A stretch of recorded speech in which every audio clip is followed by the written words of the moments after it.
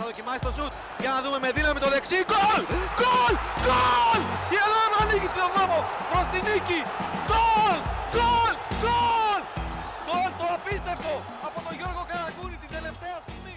Τον έριξε. το 2004 και μετά δεν μπορεί να γίνει προβλέψεις στο γύρο.